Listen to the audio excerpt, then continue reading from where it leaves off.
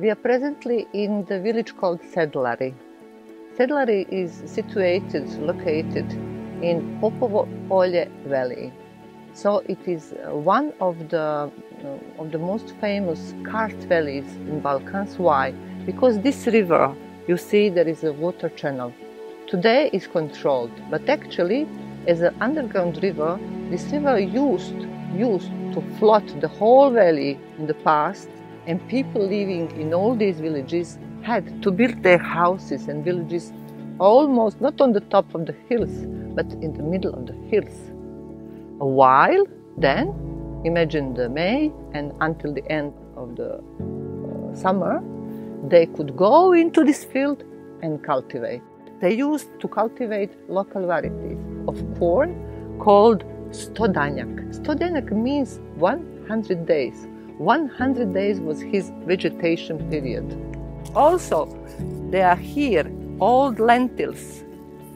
This is a kind, this and these are kinds of legumes that we called Poljak bean, bean from the field. And these are some of the oldest, oldest legumes and varieties that all the, that men used to cultivate. From slow food in the area, uh, we are trying, and this is really a struggle, together with producers who remained faithful uh, to the tradition. So, although new varieties came with uh, bringing bigger production, uh, bigger quantities, somehow they knew that this is not the true.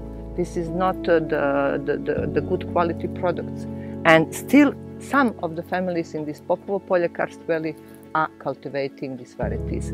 And plus, the cultivation is also very much linked to the traditional um, like facilities linked to the area.